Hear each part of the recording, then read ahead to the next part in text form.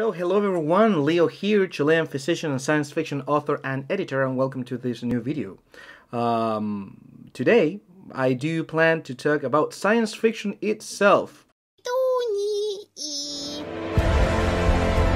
The prophecy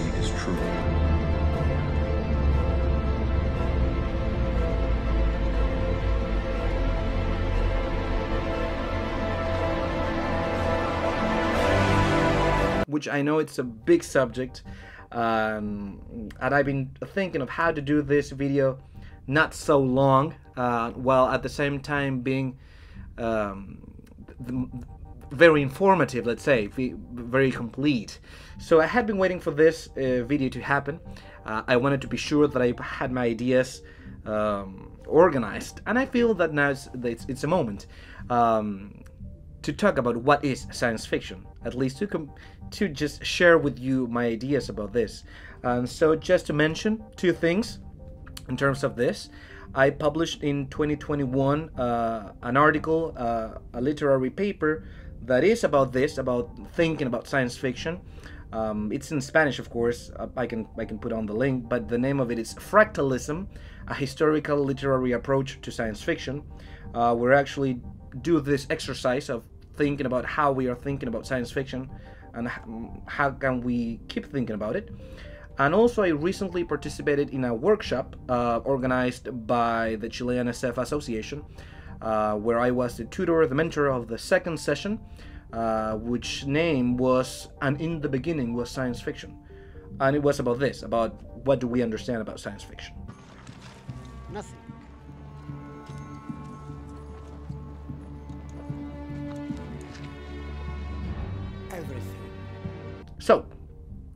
Not to be so, uh, not to extend myself so much, we know how hard it is to understand science fiction because I believe somehow science fiction became aware of itself. So, just like us, it's now in a constant existential crisis, and it's gonna be like that forever, probably. but at the same time, it's very interesting, uh, and it tells a lot about science fiction itself. And it, you probably all know that we don't have a simple answer for this. We do not know. I mean, nobody has the truth about what science fiction is. Probably, you can search on the on the internet and you'll find more than 40 definitions just in a Wikipedia article. And you will you can buy a lot of books that I, for example, just like me, that I have a lot of this and I get more confused the more I read, but I have fun. Um, so it is an interesting topic. Boy, that escalated quickly. And what I want to do in this video is just to tell you what I wanted to say, or, or my proposition in the fractalism paper, and then I want to tell you different levels of analysis where we can think about science fiction of three different you know, like categories where we can have contrasting ideas so we can try to understand what or where from where what perspective we can actually go into science fiction. So just to start I'm going to read you the summary, uh, the first part of the of the paper that I wrote, just for you to get an idea of what I, I presented there. And it's going to make sense then when I tell you the different levels of analysis that we can have about science fiction. So it says, Literary fractalism arises as a reaction to the nominative problematic of science fiction, as a synonymic conceptual and referential proposal, in the face of a historically counterproductive indeterminism. As a cognitive and linguistic complement, it offers a unifying conceptualization through which its variety is understood from an irregular, intrinsic, and coherent dynamism. In the fantastic fractal model, the fractal is that which, having a natural and rational link with reality, is shaped by a dimensionality that necessarily exceeds it. So that's what I wanted to say with with the concept of fractalism. Um, just just a spoiler in terms of the paper is it's the word itself fractalism although it serves the purpose of the idea that I wanted to present um, is trying to actually still validate the science fiction concept not trying to rename it just as a, as a heads up. So that's my first that's my global idea. That's what i work on that paper. I do invite you to read it. If you if you can read spanish you can translate it uh, just to get way deeper into that. But then then comes the exercise that the exercise that I want to do in this video, which is to say which are the levels where we can actually analyze science fiction? And and I've been working on this just to, give you what I think it's a it's a useful tool to analyze it and I separated this on three categories three levels let's say levels Explosion.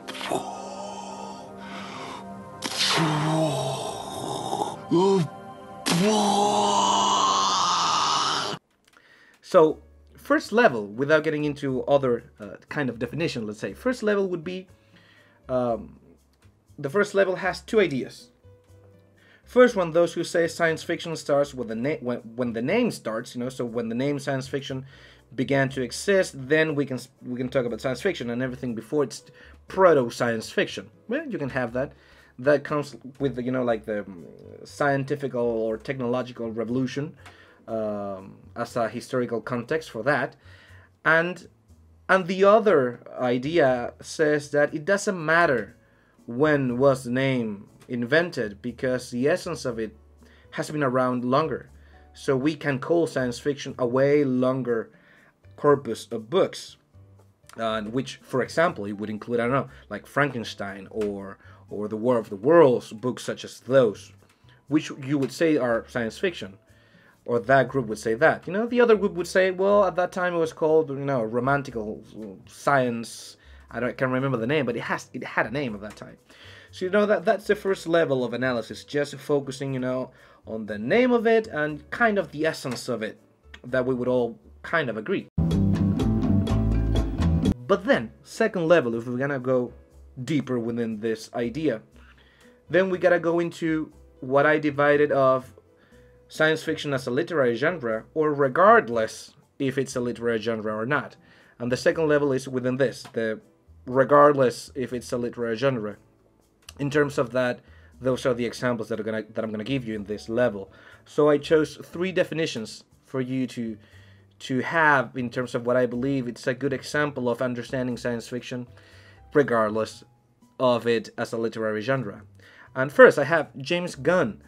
Uh, he said, Science fiction is the branch of literature that deals with the effects of change on people in the real world as it can be projected into the past, the future, or to distant places. Then we have Philip K. Dick.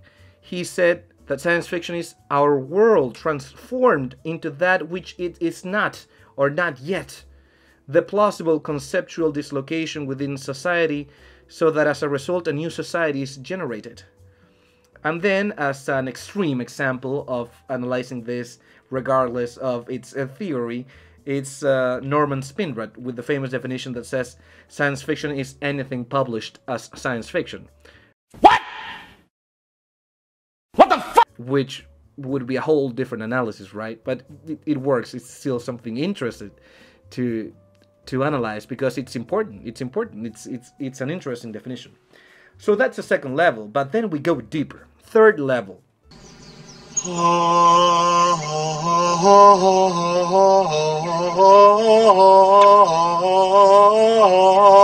Alrighty then. Let's assume it is a literary genre, uh, which of course is not an absolute truth, by the way, I do believe. Um, in, Spanish and English, the concepts of literary literature and genre it's different. So that's a cultural concept to keep in mind, but I'm not gonna go into that. But third level, so it's okay, let's say it is a literary genre, but it's not so easy because now we have to define what is a literary genre. And here you have two two what would be the name? branches, rivers of ideas. First you would have those that that analyze literary genre as a region of conceptual space, which would try to search for a definition, which is what we usually do. But it's not the only way to understand literary genre. There is also that the another concept that's genre as a temporally extended particulars, a historical particular, which means literary genre as a tradition rather than something that becomes a definition. Um, and so, for example, in terms of the literary genre, as a as a conceptual space, we have the classical definition of Darko Suvin, uh, which says that science fiction is a literary genre whose necessary and sufficient conditions are the presence and interaction of estrangement and cognition, and whose main formal device is an imaginative framework alternative to the author's empirical environment. Okay, that's the one that you mostly, mainly find. But then there is this other conception that I truly like, uh, which is which I read from Simon Evnine uh, with this there's this paper that I love. The name is "But is it science fiction?" It's a philosophical approach, and it says that that literary genre is not this uh, conceptual space, but rather this historical particular that cannot actually be defined because it is a tradition. Um, and it gives a lot of examples of, of traditions, and it, it actually quotes Nietzsche that said, Only that which has no history can be defined. Uh, so it's a whole different approach to what science fiction is, you know, would be this particular type of, of, of art. We haven't even talked about what art is or literature, but anyway, you, you know the you know the idea. Um, and as a tradition, it says explains how can science fiction keep changing either to the past or to the future. It's a very interesting paper. Great Scott. So we do have all of these territories of analysis, all of these different ideas of what science fiction is. Um, I know you can choose whichever you feel more certain to you. I would believe, uh, but it's fascinating. It's I think it truly is, and that's something very beautiful about this form of literature or form of artistic um, uh, thing. You must choose. But choose wisely. I, I, I do speak about literature because I'm not going I'm not gonna get into cinema or something else, but you know, but this type of literature, um, and I'm thinking of, for example, some Chilean definitions from some friends, uh, authors. You know, Luis Saavedra, he says that science fiction is a sensorial experience. Or Rodrigo Juri, uh, who says it's a movement, just a group of people. Laura Ponce from Argentina, she also kind of agrees with that idea of, of just uh, science fiction as a movement um, with a lot of historical endeavors, let's say. Uh, but it's something it's it's fascinating and it's in constant change and you can see that you can feel that you know with with current terms that are around um, and that have been around for a long time. You know there are other umbrella terms to try to understand science fiction. For example you know i know in the northern hemisphere in the english uh, tradition currently you will usually find the concept of a speculative science of a speculative fiction. Um, and you can trace that to the importance it had in the times of Judith Merril. Uh, I recently read, just out of curiosity, this article that talked about curio fiction, curio fiction, uh, by Diane Callahan. And here in Latin America, you will find concepts such as, you know, the new weird, which would be something kind of englobing, encompassing all of this um, in a way. And also from the academia, you will you you wouldn't perhaps find term science fiction, uh, but rather than non-mimetical literature. Come again for Big Fudge? So it is a thing. It is a it is a it's a lovely debate, and and and and what I did uh, what I did with my paper. Uh, I'm gonna just read you the the the last part of it just to conclude this idea. But the the thing is, what I want to transmit is first I wanted to let you know all the levels of analysis that science fiction can have, so you can choose, so you can think about it. Um, and I started and now I'm gonna end with what I proposed in, in what I wrote. But maybe I'll change my mind later on. I don't know. So what I meant by fractalism, going back to this exercise of thinking about thinking, uh, I wrote in the end of this. It says, "Let it be understood, extrapolating from its original mathematical territory, that everything genuinely fractal, as a key property, is that which dimension, that is, the fractal dimension, is greater in rational terms than its topological dimension. Thus, it is understood that the fractal literature has indeed a link with reality in a natural and rational way. But its dimensionality, dimensionality, necessarily exceeds it. Moreover, the fractal presents two primary characteristics it is too irregular to be described with traditional terms, and it is self similar in terms of the same figure. So that's why I like the concept of fractal and fractalism to talk about science fiction. I think you will get the idea. And again, I do invite you to read that the, the whole paper if you have the time or the curiosity or if you want to practice your Spanish or you can translate it. But but that's about it. It's a fascinating topic. That's that's my idea of, of, of science fiction or how to understand it.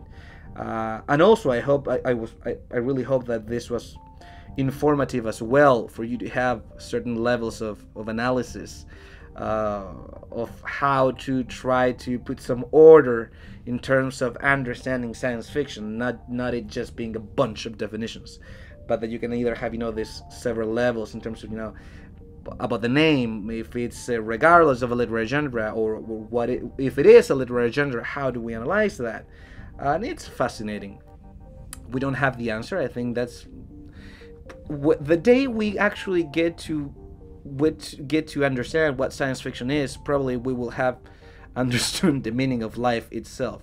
And I'm not sure if we're close to finding the meaning of life, or are we? Pretty good. Pretty dang good, lads! Yeah! I'm not sure. So, anyway, I hope you really enjoyed this video. I hope it was fun as well as informative. Um, I'm glad that I get to share this idea that I have, the fractalism idea.